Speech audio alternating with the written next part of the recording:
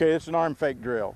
And uh, this one it should not be neglected because this comes up all the time with first and third situations.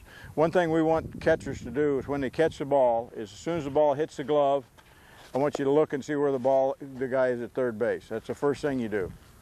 Because I'm, I'm going to I'm gonna come out of there. I've got guys on first and third. I'm going to arm fake. I want to look. I want to arm fake. I want to come back.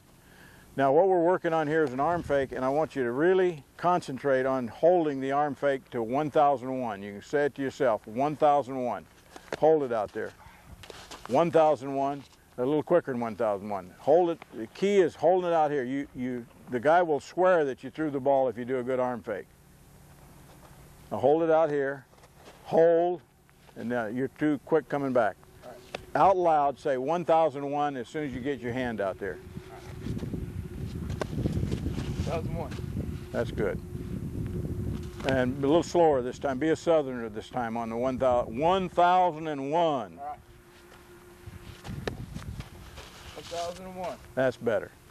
See, you put the emphasis on mm, right there because that's where you're going to get the, the arm fake.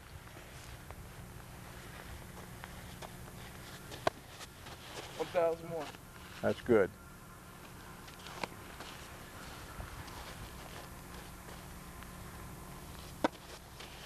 Thousand one. Now he worked on this before, so it, it, it's not that difficult for him to do. But the the thing that most guys do is when they throw, throw him, and I'll show you. Most guys will catch the ball and give a half arm fake, and and hurry it. They'll come out of here with this kind of thing here and pull it back in, and it doesn't show anything to anybody. And the other thing that's hard to do for catchers, and and we have them do it on all four plays that we have: throwing through, back to the pitcher. Uh, the special thing where we have shortstop or second baseman coming in, or the arm fake is we want the same look from the catcher every time. That's look to see where he is. And the thing that Brett's looking for when he looks down the third base line is how close is the runner to me. If he's close enough to me, then I abort all the other plays and pick him off at third base. If he's not too close, then I arm fake, go ahead with my plan. My plan started before I ever caught the ball. I'm throwing through, I'm going to arm fake, or I'm going to throw high to the pitcher. One of those are the special one of them. You set that in your mind first, and then the runner stops you or lets you continue the play.